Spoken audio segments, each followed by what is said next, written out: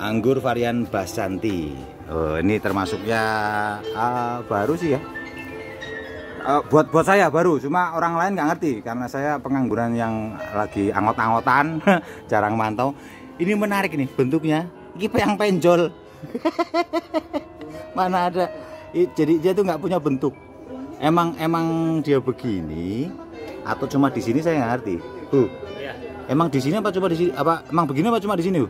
Cuma di sini. Cuma di sini ya? Ya. Oke. Rata-rata di sana bulatnya simetris lah, bulat. Heeh. Bulat.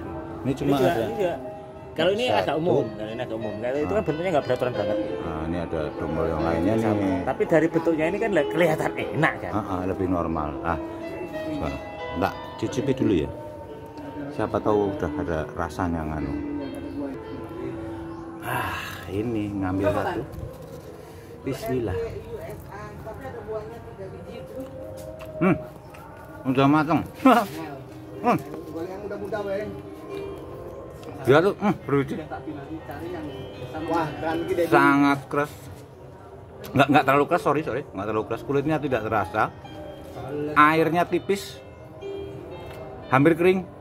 Dagingnya kenyal. Heeh. Nah, kenyal ini menarik. Itu bakal jadi idola itu Oh, kalau kata Bunda itu ha- hampir jadi sama idola. Juga Nah, Basanti. Menarik. Dan ini Tapi udah ada yang itu udah lari Hmm. yang di ujung sana yang lari ya ini warnanya seperti ini. belum ada baru pada Yang matang udah dimakan tikus.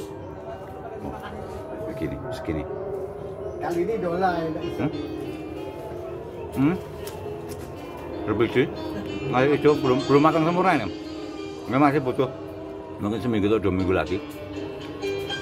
Tapi sudah bisa dinikmati. Enak. Varian Basanti. Good. Kita video yang lain.